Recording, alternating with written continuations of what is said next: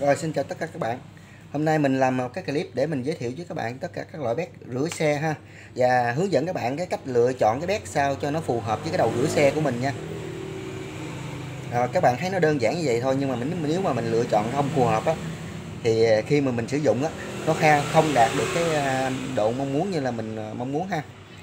Rồi đầu tiên mình muốn giới thiệu các bạn đó là cái loại bét Đài Loan Ừ, cái loại bát Đài Loan này các bạn ra bất cứ một cửa hàng máy nông cơ nào cũng có cái loại bát Đài Loan này nha các bạn. Bát này rửa rất ngon ưu điểm của nó là nó chỉnh được. Mình để à, mình hướng dẫn các bạn coi.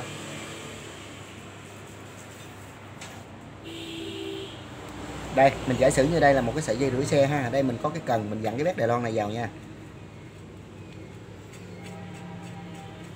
Đây các bạn lưu ý lúc mà bạn dặn nè bạn dặn nhanh nhanh bằng cái chỗ này được. Nhưng mà khi mà mình siết chặt á bắt đầu các bạn phải siết từ cái chỗ này nha. Các bạn thấy ngay chỗ cái, cái con ốc inox này không? Các bạn siết từ đây nha không được cầm ngoài đây siết nha. Tại vì cái lớp nhựa này nó nó chỉ bao quanh đây thôi. Để cho nó đẹp và cho đúng cái thế người ta cầm để người ta chỉnh tới chỉnh lui thôi. Các bạn không được dùng cái này các bạn siết chặt vào nha. Nó sẽ gây à, hỏng cái bét này nha các bạn. Nhớ là cầm cái chỗ này. Đó, bắt đầu mình siết chặt thì mình phải kìm một đầu dây ở bên này và một đầu mình lại dùng cờ lê để mà mình siết chặt cái này nha. Đây ví dụ như các bạn cầm rửa như thế này đi thì cái này cái ưu điểm của cái bát này là mình muốn rửa cho cái tia hẳn. Thì mình các bạn nhìn vào đây. Đó các bạn thấy không? Các bạn mở cái bát ra. Đó, khi các bạn siết siết lại như vậy siết qua trái như thế này thì cái hai cái đầu nó nó khép lại. Nó khép lại như vậy có nghĩa là sao? Nước nó sẽ xè ra. Ở trong trường hợp mà mình có muốn tưới cây á tưới cây á, hay là mình trà rửa xà bông lên trên xe nào đàng hoàng á, mình xè qua cái này cái lượng nước nó sẽ xè ra. Nó làm cho sạch ở một cái diện rộng ha nhưng mà nó không có độ mạnh nha. Còn khi mà mình cần dùng áp lực để mà mình xịt rửa ba cái cặn bã dơ thì các bạn mở ra. Nó chỉ có hai chiều các bạn xoay qua và xoay lại thôi nha. Nhớ lưu ý giùm mình cái này. Đó mình sử dụng không đúng cách thì cái bát này nó hỏng nha. Nó rất là dễ hỏng. Cái bát này nó mất tiền nhưng mà nó rất là dễ hỏng cho nên là các bạn xài phải lưu ý rồi cái còn một cái uh, lưu ý nữa. Cái này nó khá là quan trọng. Khi các bạn lựa chọn cái bát rửa xe này thì các bạn phải biết là cái đầu mình là đầu máy ngựa. Ví dụ như cái đầu rửa xe của mình là đầu một ngựa thì các bạn lựa chọn gì cho mình là cái bát là các bạn nhìn đây mình để sát camera đó các bạn thấy cái lỗ bên trong không? Cái lỗ đó là một ly rưỡi nha các bạn. Đó các bạn thấy lỗ một ly rưỡi không? Là sử dụng cho cái đầu một ngựa là phù hợp nha còn nếu mà cái đầu mà dạng mà có dạng mà nó lỡ cỡ mà nó đầu một ngựa rưỡi á, thì các bạn có thể xài cái bét cái lỗ nó một ly bảy. Bạn nhớ lưu ý cho mình nha. Là một ly rưỡi tới một ly bảy là xài cho đầu một ngựa rồi xong. Đây là cái ưu điểm của cái bét Đài Loan này. Rồi giờ bây giờ nè cái này là của cái đầu một ngựa mình sẽ lấy thử cái đầu hai ngựa cho các bạn so sánh nha. Đây cái này là của cái đầu hai ngựa đây. Ở đây mình có làm dấu sẵn là cái đầu hai ngựa. Nhưng mà khi các bạn đi mua đó thì các bạn phải nhớ nói với cái cửa hàng bán á, là bán cho tôi cái bát Đài Loan như thế này. Cái bát rửa xe Đài Loan như thế này nhưng mà lỗ một ly rưỡi là dành cho đầu một ngựa nè. Còn nếu như đầu các bạn đầu xịt các bạn ở nhà đầu xịt rửa xe các bạn ở nhà mà đầu công suất nó là hai ngựa đó đầu lớn đó các bạn thì các bạn phải chọn cái cái bát này á, là lỗ hai ly nha. Nhớ rõ về mình đó là chuẩn xác nha hai ly đúng hai ly không được hơn không được 3 ly 4 ly đồ này nọ là là chớt quớt luôn nha. Nó nó có đủ cỡ hết nên cho nên mình lấy đúng 2 ly là xài cho đầu hai ngựa. Và một ly rưỡi là xài cho đầu một ngựa. Đó các bạn lưu ý như vậy thì các bạn cái công suất rửa của cái đầu rửa xe của bạn nó sẽ đạt tới mức tối đa luôn. Rửa nó rất là ưng ý. Đây có đây cái này là của đầu hai ngựa mình được cho các bạn xem thử cái cái cái lỗ bét nó nè nó rất là to. Ừ, các bạn thấy không?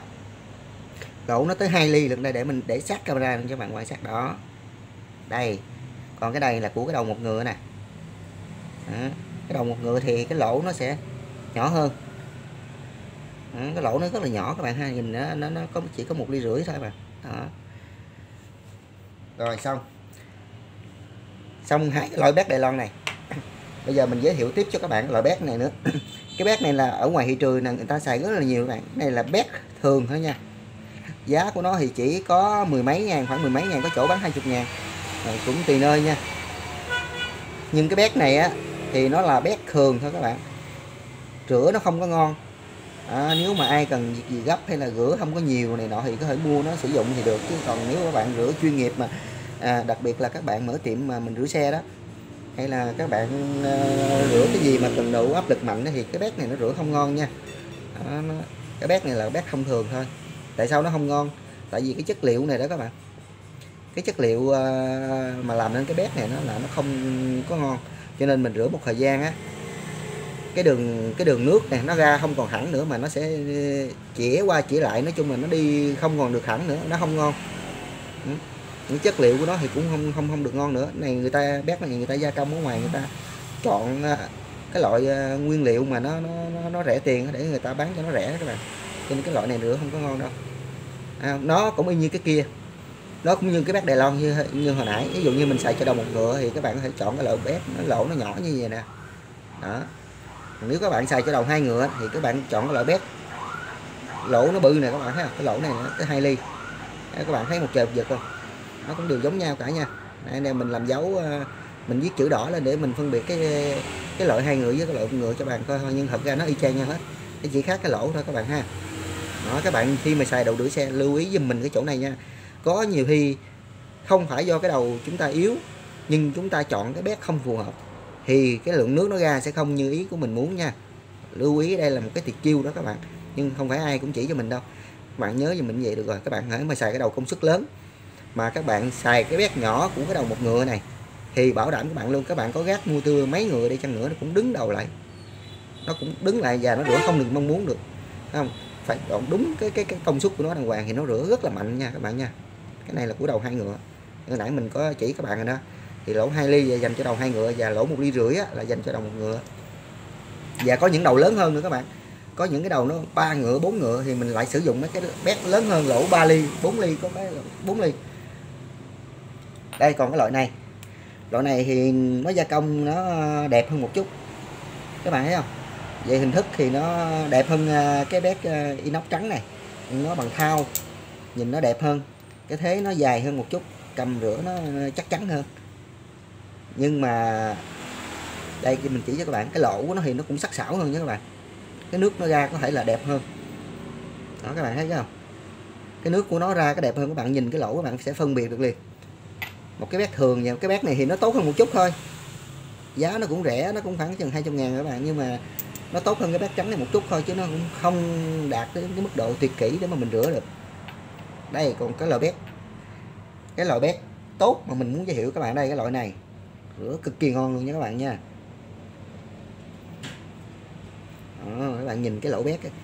đây là nó làm bằng thao có thể nói là thao gần như là có thể nói là cái cái cái cái cái thao của nó đó các bạn. Cái này nó cũng thao nhưng mà nó là thao pha. Nó pha nhiều cái cái cái cái, cái tạp chất vô cho nên là nó nó nó nó, nó không nó nó không được chuẩn lắm. Còn đây là cái loại cái loại này là thao của nó là gần như là thuần chuẩn cho nên rửa rất ngon. Mình rửa về lâu về dài cái đường nước nó vẫn chuẩn như vậy. Nó sẽ lâu bị bị bị hư hư cái cái cái lỗ này hơn những cái loại bát thường ha. Đó.